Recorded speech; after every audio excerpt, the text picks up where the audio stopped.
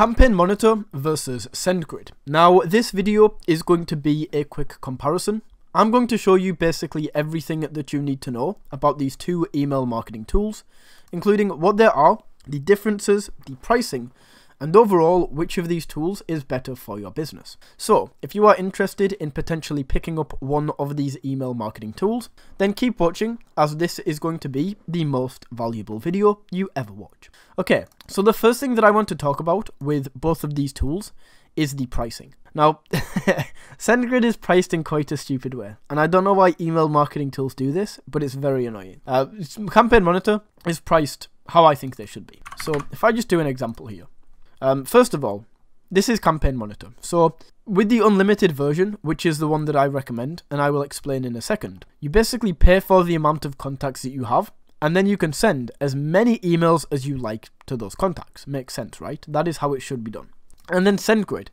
They basically make you pay for how many emails you think you might send up front, and if you hit that, then you have to upgrade. So you basically have to factor in how many subscribers you have now, by how many emails you think you're going to send through the month, and then you have to factor in if there's going to be any new subscribers to your list and how many emails they will take. It's just terrible. It's really confusing. As I was saying, campaign monitor. So that is so that is why SendGrid isn't priced very well. Now, campaign monitor. Uh, let me go back and explain why we go for unlimited over basic. So just using this example once again of 5,000 subscribers, we can only send 25,000 emails per month. That means if I send 5 emails to 5,000 people, I've already used up all of the emails that I can send. It's terrible. So that is why we go for unlimited. Now, in terms of the actual pricing, comparing these against each other, man, Campaign Monitor is so much more expensive. Like, for example, let's just go here and say you can basically send 200,000 emails for $89 a month. For the same price, you can get 5,000 emails on Campaign Monitor. Even if you send an email out every day of the month on here for 5,000 people, that's still only 150,000 emails. Like it's it's cheaper to go with SendGrid. Even if we bump this up, you can go to like 650,000 for $250, which for the same price you can get 15,000 contacts. So SendGrid is cheaper. However, that is about where SendGrid ends in being better because when I was doing my research for this, uh, I came across something that you need to see. So first of all, let's talk about Campaign Monitor. Click in, and boom. 4.6 stars out of 5. Fantastic. 74% 5 star reviews. Nothing concerning here. Beautiful. SendGrid.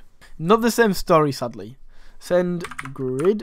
1.2. 1.2. I don't even know how it's possible to get a score that bad. 76% 1 star reviews. And basically, every single person here is saying that they either took money and didn't refund them, or they just cancelled their account after they'd already paid. Disabled our account with no reason and would not reactivate. They overcharged me intentionally and were unresponsive when I queried it. Switched off my account without indication. Switched off my and suspended my email, pretty much taking down my business. After you've paid, your account gets suspended for no reason. Like, this is all terrible. And this just goes on and on and on and on and on and on and on. It's really bad. So, even though SendGrid is cheaper, after looking at this, um, yeah, it is just really not worth it. Uh, it looks like a really, really bad company. So that's what I would say.